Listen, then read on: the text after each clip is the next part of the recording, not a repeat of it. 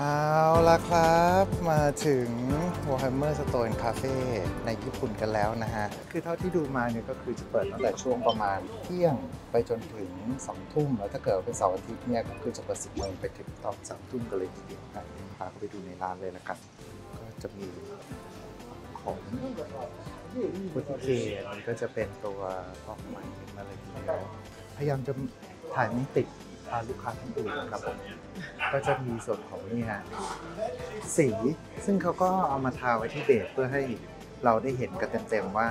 แต่ละสีเป็นยังไงคล้ายๆกับที่ Legendary War Game ครับที่ว่าเขาจะมาทากับตัว Space Marine จุดทดสอบการเพ้นก็มีด้วยเช่นเดียวกันสำหรับคนที่อยากจะมาลองเพ้นนะฮะแต่จุดที่แอบประทับใจมากๆ ข้อหนึ่งเลยคือ ที่นี่มีขายฟอร์เวิร์ทุกท่าน แล้วพูดตามตรงคือด้วยค่าเงินด้วยอะไรทุกอย่างถูกกว่าสั่งเองด้วยไม่ว่าจะเป็นทั้งเนี่ยตัว 40k 30k หรือว่าตัวเกมอื่นๆก็ตาม แล้วก็ตัวที่แอบอยากได้เลยครับนี่ฮะ B Chrysalis Night Strick ไม่ก็ใจสั่นมาก และราคาก็ดีด้วย ชิบหายแล้ว แล้วก็นอกเหนือจากเกมของทางฝั่ง Warhammer แล้วนะฮะ ก็จะมีสินค้าอื่นๆของทางฝั่ง Games Workshop ด้วย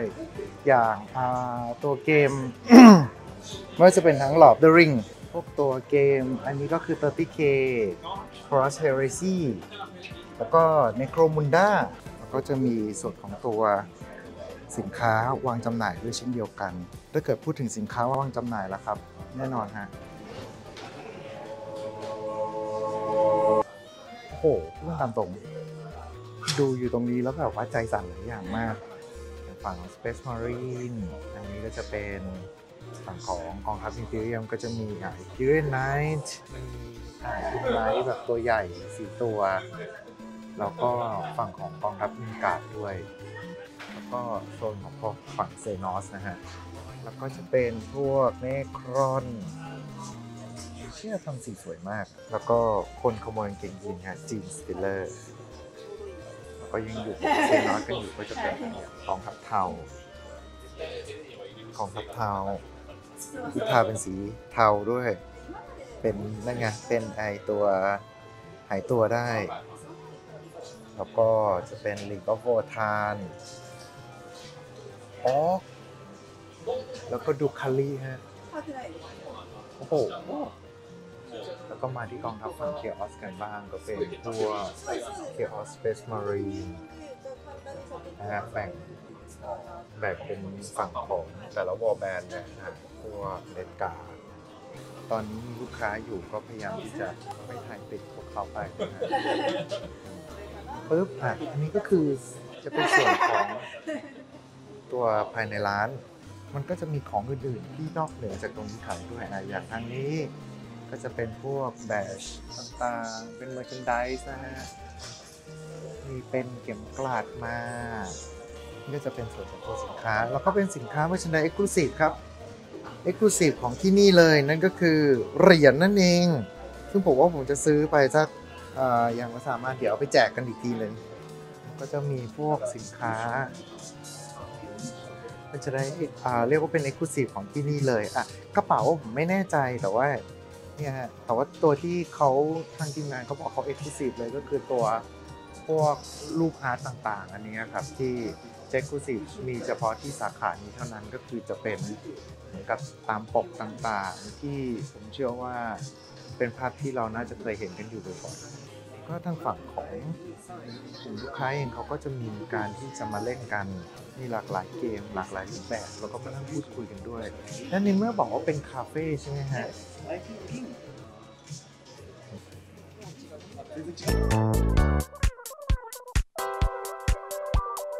โอเคครับในเมื่อที่นี่นะฮะ คือส่วนของ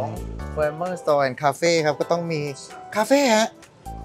ต้องมีคาเฟ่ มีส่วนของน้ำดื่มต่างๆ อย่างนี้ Battle of for g r a m นะฮะเป็น Sparking Yuzu แต่ตะกี้นี้ก็ถามเข้าไปครับว่า แล้วมีน้ำไหนบ้างที่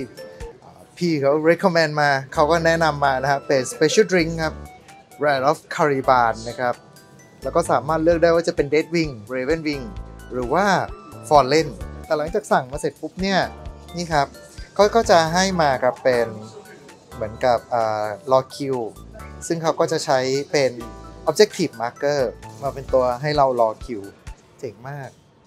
นะฮะนี่ฮะ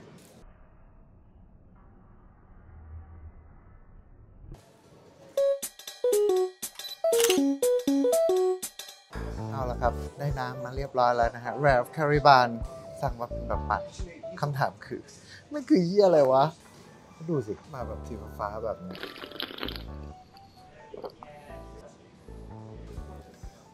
ออกแนวนมๆหน่อยนะเพราะมีความชาเขียวในนั้นนะที่ผมว่าอร่อยนะพูดไปเล่นไปพูดไปเล่นไปอาริงาโต